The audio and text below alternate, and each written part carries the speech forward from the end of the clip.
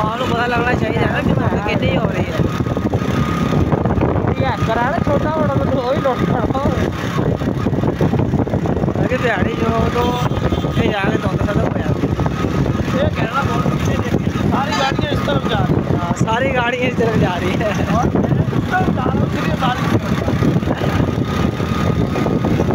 अगर आप चाहते हैं घर बैठे पैसे कमाएँ तो अपना मोबाइल भेज दें